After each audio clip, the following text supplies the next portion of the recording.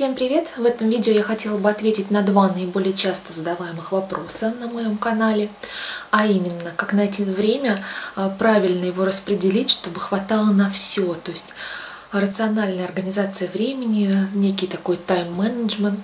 А, и второй вопрос, как среди вот этих всех забот, особенно если ты молодая мама, а, домохозяйка, а, как найти время, чтобы ухаживать за собой, чтобы не запускать себя, чтобы все время быть в форме, а, быть красивой, быть желанной. Ну, наверное, я начну с последнего сразу, именно как найти время на себя. Я тоже с этим столкнулась, поскольку у меня долгое время после моего замужества, целых пять лет, не было детей, то есть мы жили в свое удовольствие.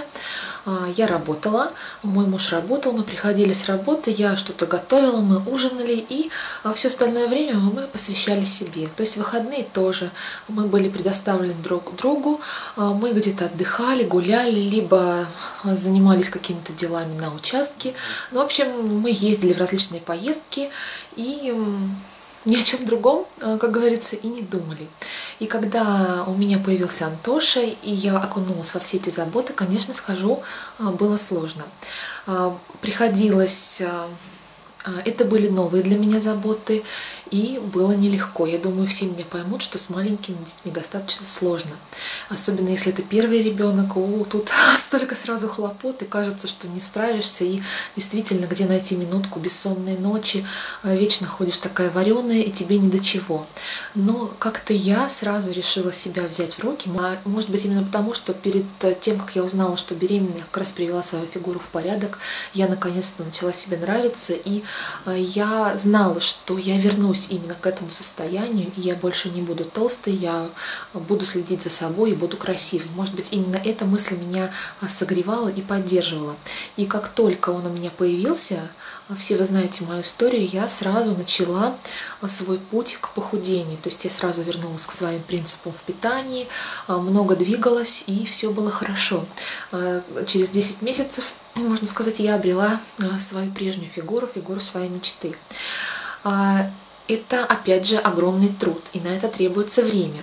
И здесь э, и мой муж это понимал, и я сама это понимала, и все мое окружение знало, что мне какое-то время нужно для себя. А главное, мне это нужно было. То есть я не махнула на себя рукой, я хотела быть красивой, я хотела быть ухоженной, я хотела, чтобы мой муж смотрел на меня не на такую какую-то всю измученную, а, заспанную, толстую, неудовлетворенную жизнью, вечно недовольную, я хотела, чтобы когда он приходил с работы, он видел меня а, живой, радостный, довольный, счастливый, а, цветущий, чтобы не слышал постоянное нытье какое-то, как мне плохо, как мне тяжело, как мне не хватает времени, как я хочу спать. Нет, такого не было.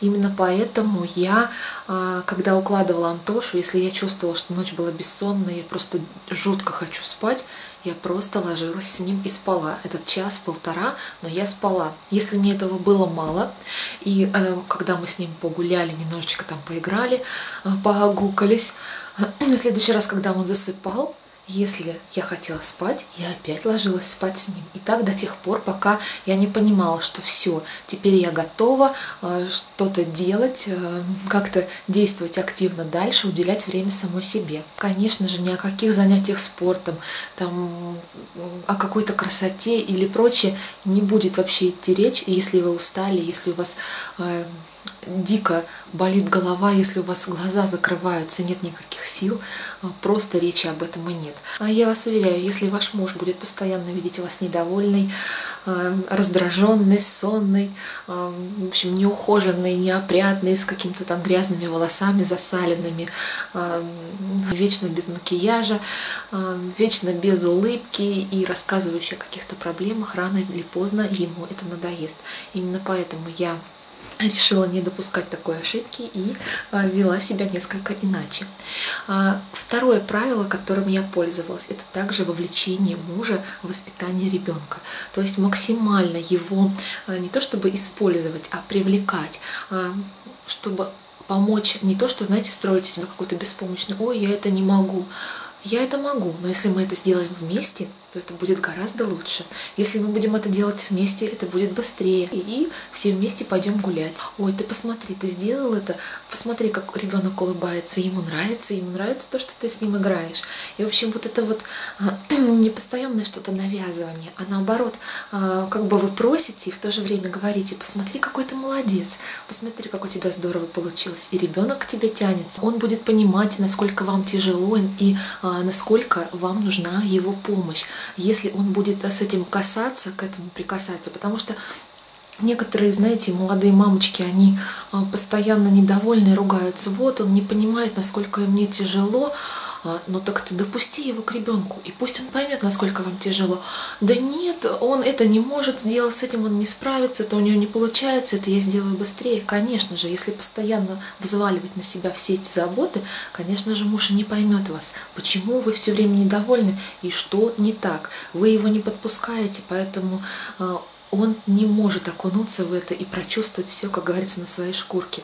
А, поэтому, но сразу говорить, что мой муж, он не такой, чтобы от всего отстраниться, он наоборот всегда пытался мне помочь, вот, и я никогда не отказывалась от его помощи, именно еще и поэтому, потому что я понимала, если его каждый раз отталкивать, то он в один прекрасный момент скажет, ну ладно, раз ты справляешься, ну, вези. То есть э, мне хотелось, чтобы он, э, как и раньше, продолжал быть моим помощником. И поскольку у меня мальчик, я все-таки хотела, чтобы э, ребенок был ближе к отцу.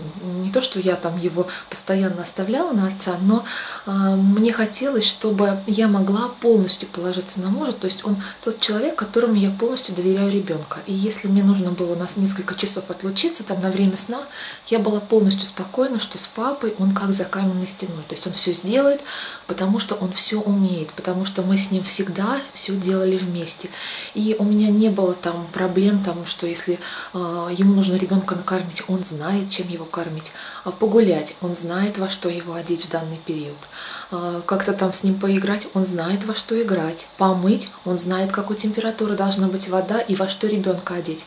То есть э, все тонкости воспитания мой муж знал. И именно поэтому мы были так взаимозаменяемы. Ну, пока, конечно, на грудном вскармливании Антошка был, а тут вот такой э, заменяемости не было. Но были периоды сна, или когда можно было отправить э, мужа с коляской погулять, а, он шел гулять, 2-3 часа у меня времени было, и я тратила их либо на уборку, либо на приготовление пищи, что-то там по дому еще делала, либо могла просто-напросто заняться собой, своей фигурой, просто-напросто отдохнуть и поспать, если мне это очень хотелось. Поэтому а самая важная задача обязательно еще а, Помимо этого вовлекайте мужа. И, а, как я вам уже сказала, обязательно любите, цените и уважайте себя. Ведь если вы сами себя любить э, и уважать не будете, что вы можете требовать от окружающих? А, то есть, если окружающие чувствуют, что вы сами себя не любите и не уважаете, то что можно от них требовать? Поэтому обязательно не забывайте о себе, любите себя, уважайте, хольте или лейте. Я не говорю, что мир должен крутиться только вокруг вас. Нет, я немножечко имею в виду другое. Думаю, вы понимаете, о чем я говорю. А, и еще хочу сказать а, Никогда не забывайте о себе не только в плане э, ухода за собой, но и также о своих увлечениях, потому что многие, когда выходят замуж, заводят детей, они забывают о том, что они есть у себя, что себя надо тоже любить и давать развиваться своим интересам. Иначе вы будете э, не только для себя неинтересны, но и неинтересны для окружающих. С вами будет не о чем поговорить.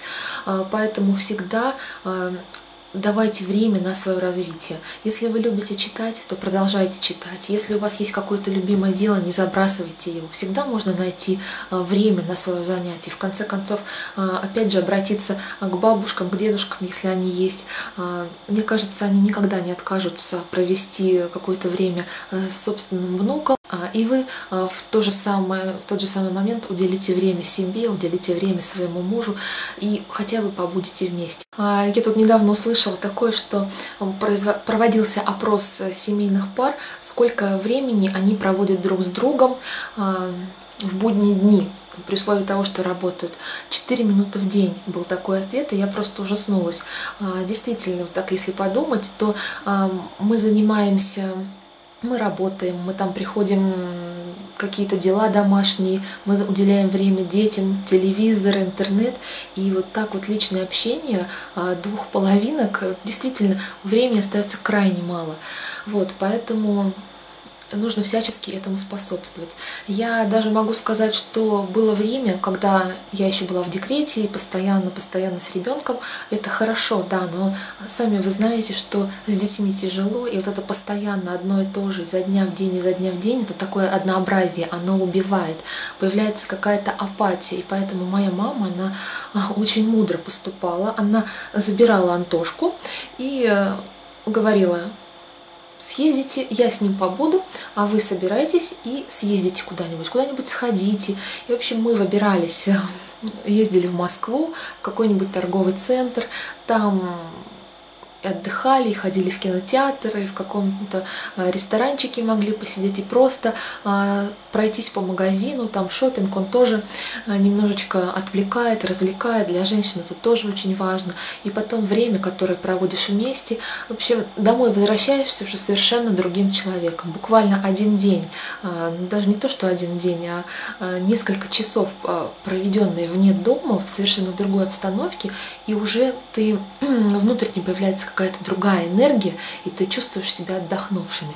И можешь 2-3 недели вот с этими новыми силами, в таком эмоциональном подъеме дальше продолжать жить. Поэтому ищите любую возможность, а, но про себя никогда не забывайте.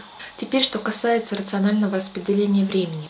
Ну вот про мужа я уже сказала, и мне кажется, это тоже э, очень важный момент, поскольку вы живете вместе и а, можете поделить как это сказать, ряд задач, каких-то проблем, дел между собой. Если вы будете вести на себя все, и ведение домашнего хозяйства, э, и ребенка, и там приготовление еды, и э, хождение по магазинам, уборку, все это, то вас надолго не хватит. Поэтому нужно все делить пополам. Мой муж э, в состоянии и пропылесосить, и полы помыть, и посуду вымыть, и какие-то там овощи начистить, э, сделать некий такой полуфабрикат, то есть картошку почистил, порезал, дальше я уже ее иду готовить, а он занимается с Антошкой. Сходить там, вынести мусор, снег почистить возле дома, ну то есть, конечно, мужские дела это отдельно, вот, но, дома, но дела по дому тоже нужно обязательно делить между собой. Иногда у меня есть такое желание вот просто одной заниматься уборкой. А, ну, бывает такое, что хочется вещи по полочкам раскладывать, что-то такое, знаете, состояние души, хочется покопаться во всем, и косметику свою разложить, и как-то э, перестановку какую-то сделать. Тогда просто-напросто я прошу мужа, он в этот день занимается Антошкой полностью. Он с ним гуляет, а, он с ним играет, он его спать укладывает. И я в этот момент занимаюсь э, целиком домашними делами. Ну, как правило, это всегда бывает один какой-то выходной.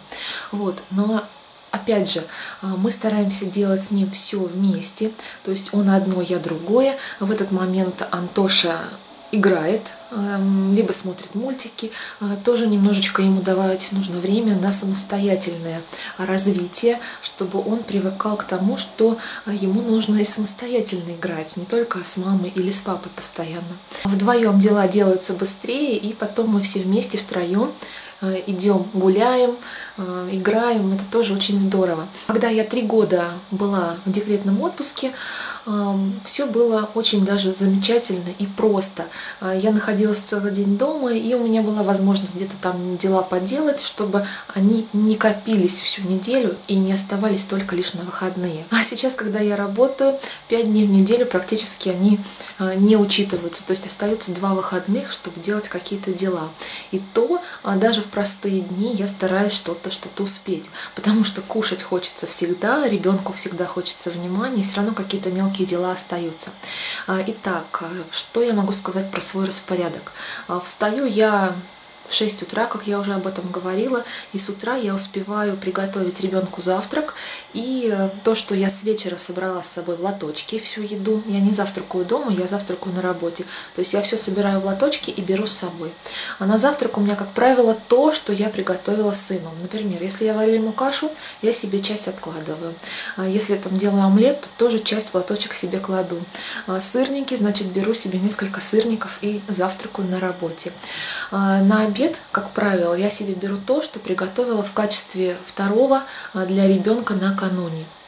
Вот, почему э, я ем супы вечером, у меня многие спрашивают, почему у тебя суп на ужин, потому что мне неудобно носить с собой жидкую пищу на работу в контейнерах, мне проще прийти после работы и поесть суп, чтобы не терять время, и потом все-таки первое тоже нужно есть, я ем его в качестве ужина. Вот, а ребенок там, я ему уже готовлю что-то быстренько, но он у меня особо не привередлив в еде, и у него есть какие-то особые предпочтения, что он любит, то есть он у меня не какой-то такой гурман. Вот, он любит у меня простую пищу. И, как правило, у него действует принцип, знаете, раздельного питания. То есть я его к этому не привлекаю, я просто смотрю на него и понимаю, что насколько умный все-таки организм у ребенка. И если мы, родители, будем прислушиваться к этому, а не ломать и, знаете, как а, действовать так, как мы привыкли. То есть вот эти все стереотипы переносим на детей, когда а, макароны едятся с мясом, обязательно это все с хлебом. Это же мы придумали. А вот я наблюдаю за сыном и понимаю, что хлеб он ест отдельно. А, гарнир и какой-то мясной он тоже старается не совмещать. И вечером он у меня особо мясо не ест. Поэтому вечером все ограничивается а, каким-то гарниром. Либо это картофель, либо это макароны, либо это какие-то крупы, рис, гречка, он это ест просто с овощами. Он не просит мяса вот именно вечером. Я не знаю почему, но вот так у него устроен организм. Мясо он может съесть днем и достаточно много, но вечером он его не ест. Вот так. Вот. И наблюдая за ним, мне очень даже интересно вот это пищевое поведение, и я стараюсь этого не ломать и не препятствовать этому. Конечно, а, какое-то взрослое поколение посмотрит на меня и скажет, ну как же так? Но ведь он же голодный, ему надо вот э, э, смешать, дать ему макароны с мясом. Почему он ест одни макароны, непонятно. Но я не считаю нужным э, ломать его пищевые привычки и подстраивать их, э, то есть даже делать их неправильными, потому что мне кажется, все изначально вот заложено природой, и если мы в это не вмешиваемся, то э, все идет правильно. Простите, я немного отвлеклась от темы времени, перешла на пищу. Но тем не менее, я иду на работу. Э, утром я успеваю накраситься, привести себя в порядок, и к 8 часам я уже должна быть на работе. Э, в обед у нас с 12 до без 15 час, эти 45 минут я трачу на то, чтобы сходить в магазин, на рынок, который находится рядом с работой, и э, купить тот необходимый минимум, который мне нужен. То есть это хлеб, э, молоко, там масло или что-то такое, то, что у меня закончилось, овощи, фрукты. Вот. Но опять же, я не стараюсь набирать много, потому что у меня нет личного транспорта, я не вожу машину, и я езжу домой на автобусе, поэтому таскать на себе сумки тоже мне не хочется а, покупаю то, что прям вот мне необходимо вечером для того, чтобы Антоше что-то приготовить. И если мне нужно дальше что-то купить, эм, я просто-напросто звоню мужу и говорю, дорогой, у нас закончились такие продукты, будь добр, э, поедешь с работы, э, забеги в магазин, и купи. А, и поскольку он всегда знает, всегда в курсе того, что мы едим, а, какие продукты мы покупаем, то есть вопросов лишних у него не возникает, он знает а, те марки, которые мы обычно покупаем в продуктах, и просто-напросто вечером приезжает и все это привозит. Конечно же, у него иногда возникает, знаете, такое желание, давай я заеду за тобой, мы вместе поедем в магазин, а потом приедем домой, поедим и пойдем гулять. Я иногда говорю ему, нет, мы пока с Антошкой едим, ты заезжаешь в магазин, ты привозишь продукты, а, пока ты ешь, а, я, я успеваю разложить все это в холодильник, может быть что-то уже начать готовить на следующее утро. Время таким образом экономится, и мы вместо того, чтобы ходить по магазину, мы идем просто-напросто все втроем гулять, кататься на горке, а на санках, там едем на каток или, ну, в общем, тратим это время на то, чтобы побыть вместе. Потому что все-таки в течение рабочей недели мы очень мало времени проводим друг с другом. Но, ну, вот, например, я утром ухожу, он еще спит. А вечером я прихожу, его еще нет, и где-то часам к 7-8, это в лучшем случае, он приезжает с работы, ну и остается буквально несколько часов, дальше там уже надо Антошку укладывать спать, и, как правило, ложится он поздно, и там уже ни до чего, просто брык на подушку и все, и уснул до следующего утра. Вот, поэтому вот эти минуты, вот эти моменты, когда мы можем побыть все вместе, они очень важны, и чем, чем бродить по магазинам, лучше погулять просто на улице. Поэтому а, вот таким образом просто-напросто прошу его заезжать с работы по ходу и не тратить даже те самые полчаса, 40 минут, которые мы можем использовать а, на другое, пока он прокатается за мной. И еще могу, хочу сказать по поводу посудомоечной машины. Это, наверное, та помощница, которой мне так не хватало для экономии времени. Все Э, это время до того, пока у меня ее не было. Я уже немножечко начинаю заговариваться, извините. Дело в том, что э, Дело в том, что нас много, у нас всегда много гостей, э, порой заезжают люди на ужин, их нужно накормить, и, как правило, в семье, где много всего готовится, плюс много членов семьи, посуды всегда много. И вот эту гору пока перемыть, порой проходит и час, полтора, и потом уже ни сил нет, ни желания что-то делать, и вообще ни до чего думаешь лечь, и чтобы тебя не трогали. Поэтому посудомоечная машина – это просто а, мой огромный помощник. Мне многие писали под видео про машинку, что «Ой, боже, она моет 2 часа посуду, за это время можно 15 раз перемыть все тарелки.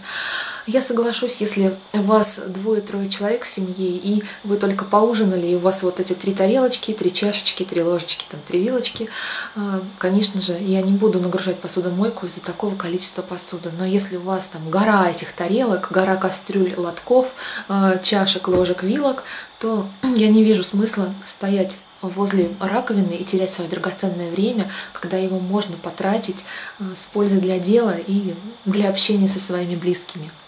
И даже в конце концов на себя любимая. Поэтому э, у нас была возможность ее приобрести, было место, куда поставить. Мы ее купили, я безумно довольна. Я действительно очень много времени экономлю из-за того, что я просто собираю эту посуду и отправляю в посудомойку. Э, Поверьте, из-за трех-четырех тарелок я ее никогда не включаю. Мне проще это действительно помыть. Но когда посудомойка набирается полная, вот прям под завязку, после одного только приема пищи и приготовления еды, то, конечно же, стоять возле, возле раковины я даже и не думаю. А, я ее включаю, и мы с сыном идем спокойно гулять. В то время, пока она моет посуду эти два часа, она вас не трогает, и вы ее не трогаете. Вы тратите время на себя. А, и что касается э, ведения канала на YouTube, а, то здесь это мое хобби, это мое любимое занятие, о котором я говорила.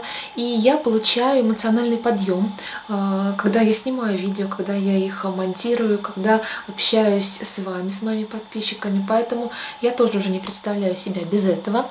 Мои домашние с этим считаются, хотя первое время было несколько иначе. Они не понимали, для чего мне это нужно. Сейчас они это поняли, они видят Э, насколько мне это доставляет удовольствие, что это не пустой звук, что э, это действительно дело моей жизни, мне это нравится. И э, они мне всячески в этом помогают. Если они знают, что мне нужно снять видео, то, конечно же, они дают мне такую возможность. Если у меня есть возможность, э, например, это выходной, и Антоша пока спит, я прекрасно могу э, заняться съемкой видео. То есть у меня, мне не нужно никого просить с ним побыть, погулять, чтобы он мне не мешал. То есть он спит, я в соседней комнате снимаю. А, монтирую я также по возможности. Например, а, у меня ноутбук, и что-то я готовлю на кухне, а, и могу в этот момент сидеть и заниматься склейкой кадров. Надеюсь, я ответила на ваши вопросы, старалась все донести как можно более подробно, поэтому, простите, видео получилось долгим, но, надеюсь, рациональное зерно здесь есть, и, может быть, кому-то я помогла. Всем спасибо за внимание, до новых встреч на моем канале. Пока! Не забывайте подписываться, чтобы не пропустить что-то новое.